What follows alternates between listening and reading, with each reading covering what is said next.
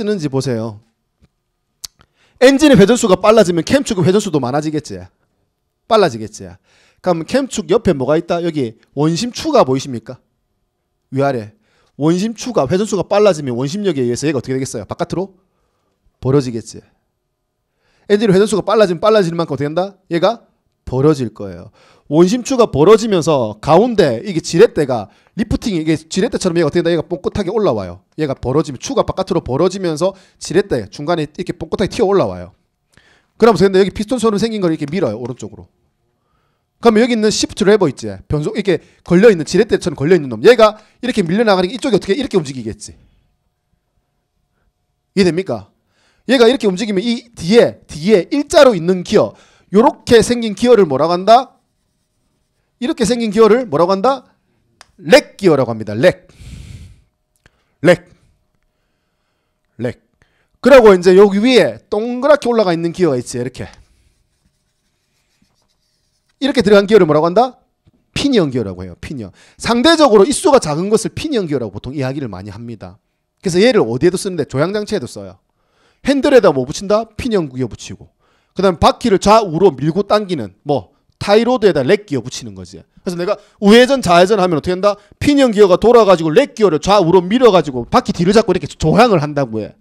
그때도 쓰는 게 뭐 rack과 피니언 기어예요. 이 rack과 피니언 기어 여기 들어가 있다고 해. 자 그럼 조속기가 벌어지면서 뭘 움직인다? rack 기어를 땡기겠지. 에? 에, rack 기어가 땡겨지면 어떻게 된다? 피니언 기어가 이게 땡겨지면은 피니언 기 이렇게 회전하겠지. 에. 제어 rack이 땡겨지면 제어 피니언이 회전하고 제어 피니언이 여기 아래쪽에 있는 뭘 움직인다? 제어 슬리브라고 하는 놈이 있어요. 제어 슬리브. 제어 슬리브가 회전을 하면서 자 플런저 아래쪽에 이렇게 T 모양으로 되어 있는 거 보이십니까? T 모양이 되어 있는 거. T 모양. 이 T 모양 되어 있는 놈을 어떻게 자꾸 돌려요?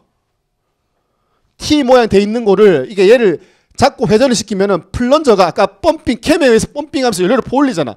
퍼올리는데 뭐에 의해서 조속기에 의해서 얘가 회전한다고 회전. 회전하면서 분사량을 어떻게 조절하느냐 이렇게 조절합니다. 자, 플런저 내부에 플런저 내부를 자세히 보시면은 어떻게 된다? 피스톤 같이 생긴 이 헤드죠. 플런저 헤드에 구멍이 뚫어져 있어요. 구멍. 이 구멍이 어떻게 된다? 요 아래쪽 구멍 이렇게 대각선으로 나와 있는 구멍하고 연결돼 있어요. 그럼 어떻게 하느냐? 자, 처음에 연료를 채우죠.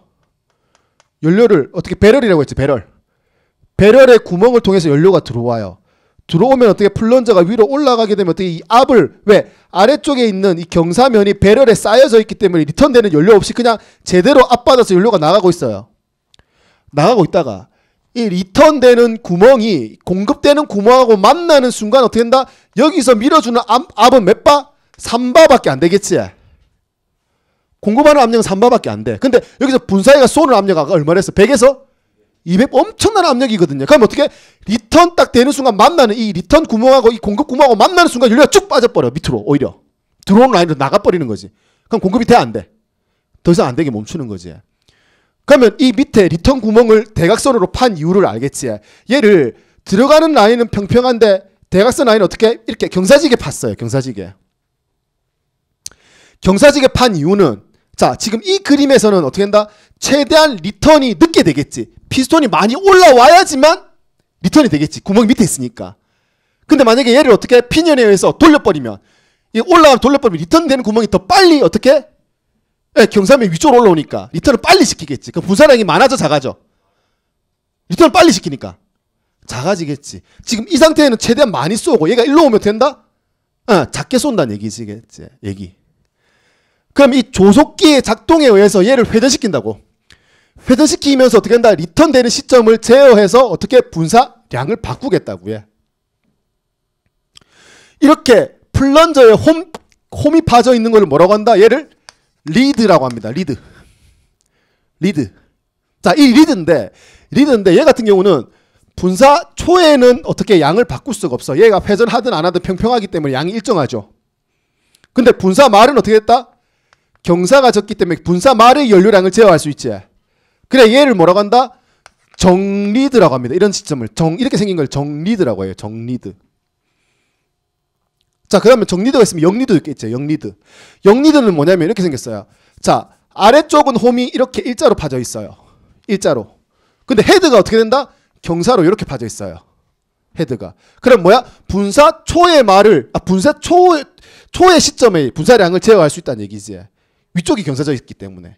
그래서 이 리드를 뭐라고 한다? 역 리드라고 합니다. 역 리드. 그 다음 뭐가 있느냐? 양 리드가 있어요. 양 리드는 위에도 경사지고 어떻게? 밑에도 경사져 가지고 분사 초도 바꿀 수 있고 분사 말의 양도 다 바꿀 수 있는 방식을 뭐라고 한다? 양 리드라고 합니다. 그럼 이 리드는 뭔데? 플런저에 파져 있는 구멍을 얘기하고 얘 구멍에 따라서 아래쪽이 경사져 있으면 뭐야? 정리드. 위 아래쪽은 먼저가 위쪽이 경사져 있으면 역리드. 둘 다 경사져 있으면은 양리드. 정리드는 뭐야? 분사 말의 분사량을 바꿀 수 있다. 역리드는 뭐야? 분사 초의 분사량을 제어할 수 있다. 양리드는 뭐야? 분사 초와 말을 다 변화줄 수 있다. 그 얘기예요. 그 얘기가 페이지 나오지. 볼로 티 나온 거 찾아보세요. 어디 있는데. 자, 101페이지 가보세요. 플런저 구멍에 홈 나와 있는 그 그림 나와 있습니까? 에? 그래서 첫 번째 그림이 뭔데? 밑에가 경사졌지. 어, 그걸 정리드. 두 번째 그 그림 보세요. 위에가 파져 있지. 경사적으로. 어, 파져 있 그럼 이걸 뭐라고 한다? 영리드. 위에도 경사지고 밑에도 홈 파져 있는 게 뭐다? 대가선 홈 파져 있는 게 뭐다? 양리드라고 보시면 돼요. 그래서 이걸로 뭘 제어한다? 분사 양을 제어할 수 있다고. 자, 숙주가 뭔데? 분사량을 제어할 수 있는 숙주가 뭐야? 조속기입니다. 예? 조속기. 조속기에 의해서 분사량을 제어하는데 이 조속기가 뭘 움직이는데? 제어랙.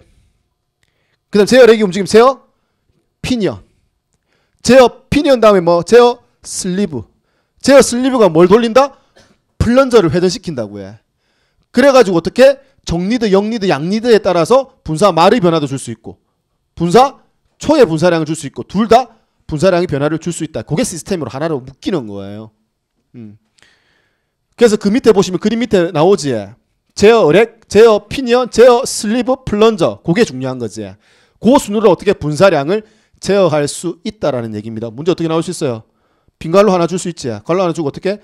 그 빈, 괄호 안에 들어가야 될 거. 아니면 순서 막 섞어 가지고 1번, 2번, 3번, 4번 랜덤 중에 어떻게 예, 맞게끔 나래비 세운 거 고르실 수 있어야 되지. 뭐 구조적으로 어떻게 생기는지 알아야 되지. 그래야지 어떻게 할 수 있는데 제어 랙, 제어 피니언, 제어 슬리브. 그게 뭐 플런저 잡고 돌린다고 해. 그런 개념이에요. 음. 이게 뭐에 대한 이야기? 연료 분사량을 제어하는 뭐 조속기. 얘는 뭐야? 기계식. 기계식 말고 뭐도 있다? 진공식도 있어. 진공식. 진공식은 뭐예요? 해서